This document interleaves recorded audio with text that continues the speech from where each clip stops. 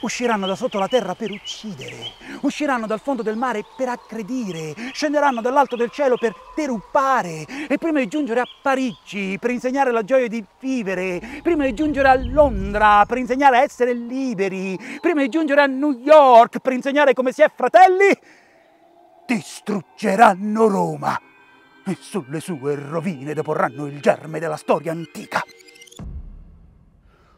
Decrees a great epic, the meridian of Greenwich? Who doles out our zeal, and in which way lies our hope? In the cabals of sinister Shoreditch, in the widening rings of Big Ben's iron flower, and the barges chain like our island to the Thames. Where is the alchemical cone and the light it yields? Where in which stones of the abbey are incised our names? Who defines our delights? And Martin in the fields. After every Michaelmas piercing soprano steeple defines our delight.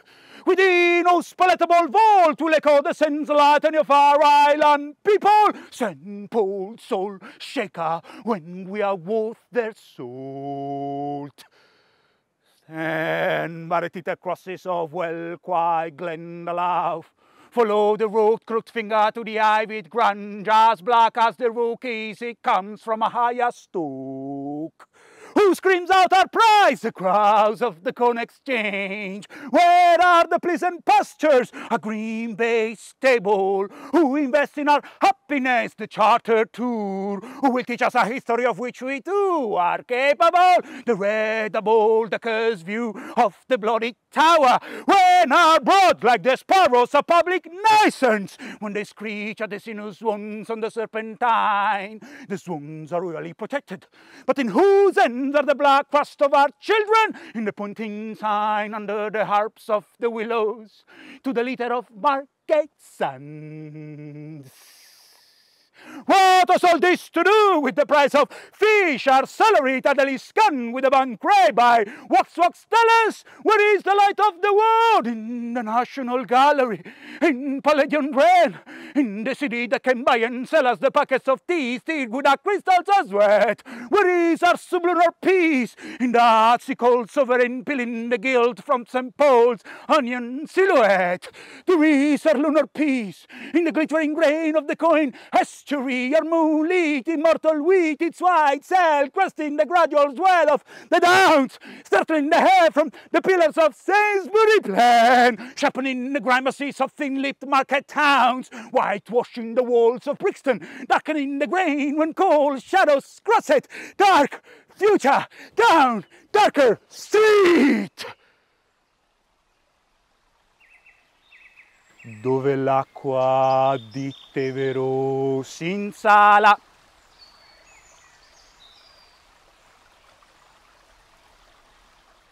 La questione è molto semplice. Ci troviamo in un luogo magico, un luogo che Pierpaolo Pasolini scelse appositamente per girare una scena importantissima del suo Vangelo secondo Matteo. Sentite qua sotto scorrere l'acqua, l'acqua del Giordano che il Giovanni Battista versò sulla testa di Gesù per battezzarlo.